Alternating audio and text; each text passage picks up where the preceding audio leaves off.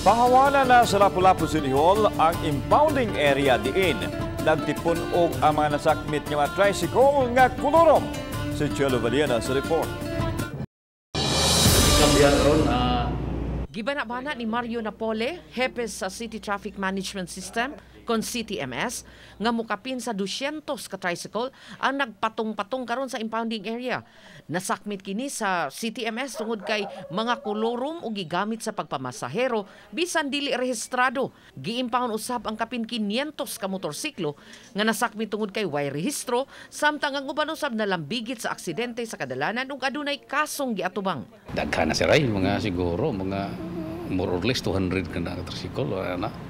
Eh, napaman to, more than pa. Nanawagan karon si Attorney Ailey Tejano, Secretary to the Mayor, nga kuhao na sa mga tag-iya ang na-impound nilang mga motorsiklo ug tricycle.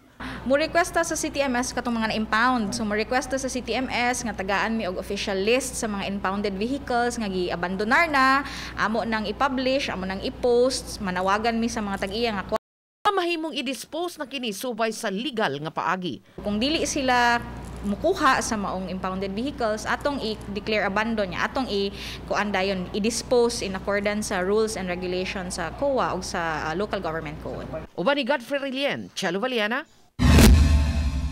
Balitang Bista.